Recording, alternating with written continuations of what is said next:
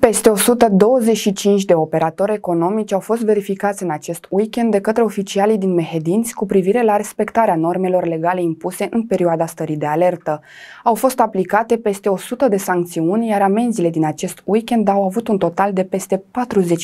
45.000 de lei.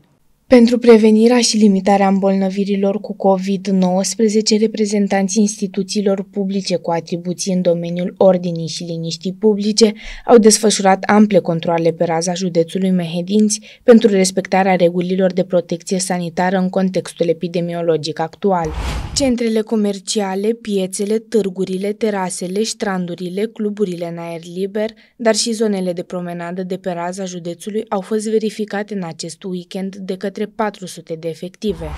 În cadrul activităților pentru combaterea îmbolnăvirii cu COVID-19 au fost verificați peste 125 de operatori economici. În acest context au fost aplicate 110 sancțiuni contravenționale, dintre care 34 de sancțiuni au fost aplicate pentru nerespectarea măsurilor de protecție individuală, în valoare totală de peste 45.000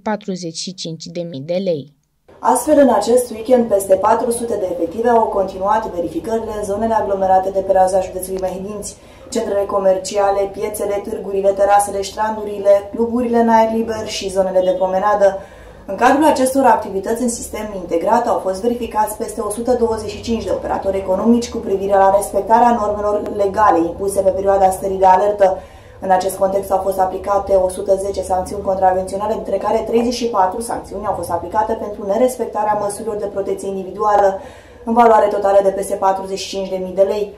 Sănătatea și siguranța tuturor cetățenilor reprezintă o prioritate a instituțiilor publice cu atribuții în domeniul ordinii și liniștii publice, astfel că acțiunile vor continua zilnic cu scopul de a conștientiza cetățenii cu privire la respectarea măsurilor de protecție împotriva infecției cu noul tip de coronavirus. Sănătatea și siguranța tuturor cetățenilor reprezintă o prioritate a instituțiilor publice cu atribuții în domeniul ordinii și liniștii publice, astfel că acțiunile vor continua zilnic cu scopul de a conștientiza cetățenii cu privire la respectarea măsurilor de protecție împotriva infecției cu noul coronavirus.